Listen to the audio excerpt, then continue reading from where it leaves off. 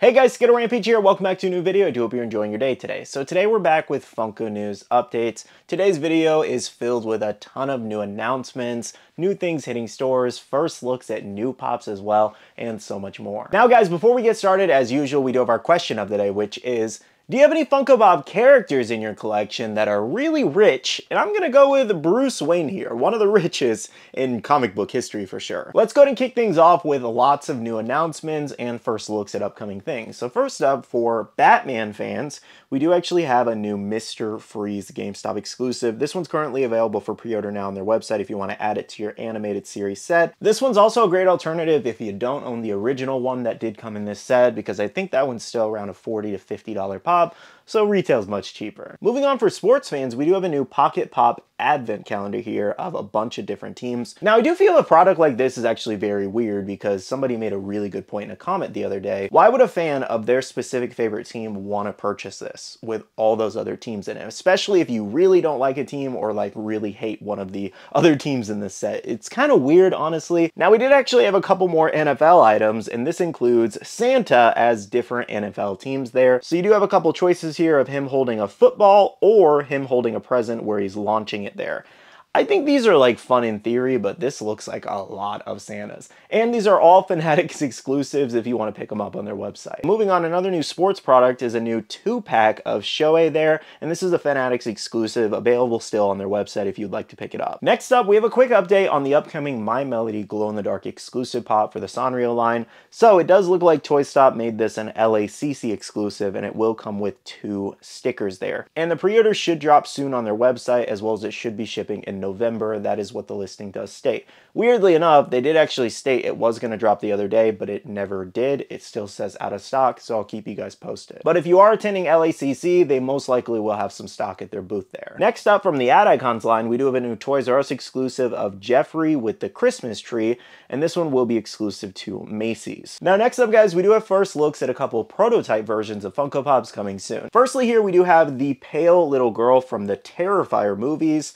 Definitely going to be a creepy looking pop for sure. This Scrapper Proto was spotted over on eBay. We don't have a definitive release date just yet, so stay tuned on that. Now another one we do have includes Sonic the Hedgehog here and looks like he's going to be in the 8-bit style there. So we don't know if this one's going to be an exclusive or common just yet, so stay tuned for more release details and let me know for Sonic fans, are you excited? Now this next one's pretty interesting because it's actually first looks at a Funkon Comic Con exclusive that should be happening later this year it's just kind of weird because I wasn't expecting to see this around New York Comic Con time. But check it out, we do have a new Simpsons exclusive, and that's Homer with the reactor there. And as you can see, it does say Funkon London on that sticker there.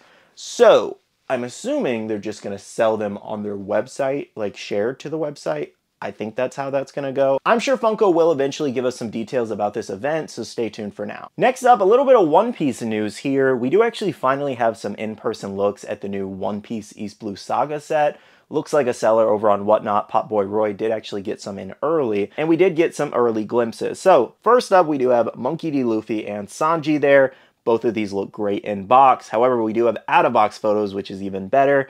I am loving that Luffy so much. The stretching mouth feature looks great. They nailed it. Then you have the piece of meat in his hand too. Also a really great job there. And then we do have Sanji with the hard eyes spinning there. They also really nailed that. Love that it's really translucent. A lot of people were really worried about that mold, but I just think they really did a good job. Now, two more we did get looks at includes Usopp and Nami there. Usopp with his rubber band of doom and Nami where she's crying. Taking some out-of-box looks here, Usopp with that rubber band and those goggles, he looks great in that pre-time skip design. And then Nami crying there, I gotta say, they killed it with the details on the tears genuinely they did a really good job because those could have turned out so bad. And she looks great, probably one of my favorite pops in that set. And the final first look we did get was at one of the Zoro pops in this set. Unfortunately, no chase first look, so stay tuned.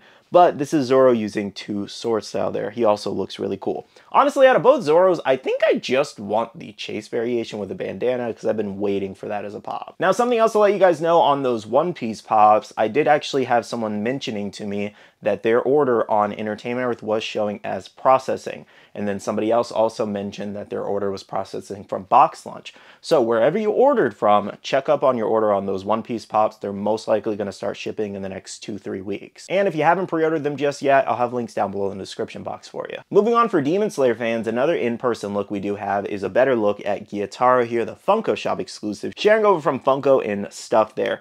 So this is where he does have his blood sickles in hand using his blood attack. They did a really great job on this one too.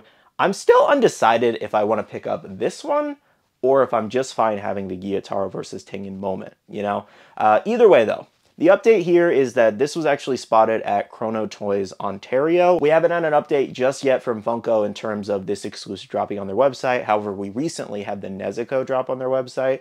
So I'm sure Gyutaro is coming very soon, so stay tuned. And make sure to follow me on my Instagram and Twitter for faster updates on exclusive drops like that. Now, another little Demon Slayer update I did actually have was coming from Chalice Collectibles. So I want to let you guys know, over on Chalice right now, the original Shinobu Pop with the special edition sticker is actually available on their website for $48. And the only reason I'm letting you guys know this is just I felt like it was a really good deal from Chalice Collectibles at $48. Because everywhere else I saw people selling it for, I saw it around $80 and up with the special edition sticker sticker and the Funko Shop sticker. So whether you feel like that's a deal or not, I think it's a pretty good deal. I felt it was worth sharing, so if you want to pick one up, they are available over at Chalice Collectibles. Alrighty, moving on, we do have a couple updates from the Funko Shop here. So first up, from Star Wars, coming this Monday, we have a ton of different pops dropping, including the Funko Shop exclusive Darth Maul Bronze. We also have Darth Maul in the robe, holographic Glow Maul, which a lot of people are very excited for, Emperor Palpatine as well as the 10-inch Palpatine there. Now, for some reason, I didn't see a drop time on the other Dark Side series set. They just say notify me, so maybe those are a little delayed, or they might drop Monday too, so just look out for those. And some other Funko Shop news, I wanted to show you guys all the new drops that are in stock now, especially if you want to take advantage of the sale going on with them. So we did have the new DC Comics Batman Knight and Squire, as well as the new DC Batman Villains, and Buffy the Vampire Slayer. On this next page, we have the new Yellowstone Pops, Coca-Cola Polar Bear, as well as Panic at the Disco uh, Pop album, and then the new Demon Slayer Pops with that Nezuko exclusive. And the final page, we did have the new Beavis and Butthead set, Mean Girls set, as well as Uncle Buck and more Yellowstone. So make sure to head over to the Funko shop if you need any new pops. Now some other news I have for you guys are some new pops hitting stores now. So this first page features the new Bleach Pops finally. So we do have Kenpachi, Aizen, and Uryu there. And Uryu does have that glow chase variation. Keep that in mind. You can find that in stores.